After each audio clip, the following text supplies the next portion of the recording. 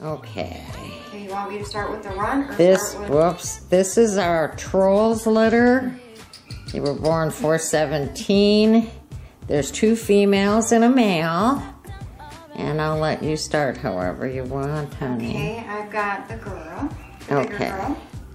This is Bridget. Sweet, let me get into her face. Hi, Bridget. What a pretty girl. What a pretty girl. Okay, okay. She has the uh, little bit of tan points tan on her head. Yeah, take her. She got the purple collar. Okay. Whoops.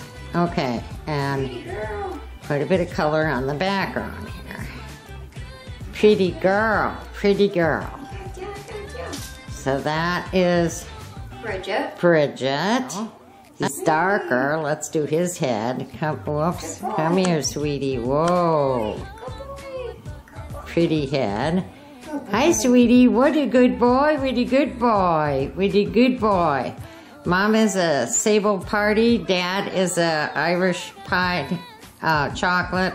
Um, there's no chocolate gene. He's got the the green collar and he's got quite a bit of color on his back. But there's no chocolate gene in mom, so these are sable. They're all sable partis. This is Branch. That's Branch. There she is. We couldn't find a pink collar. Poppy. Ooh.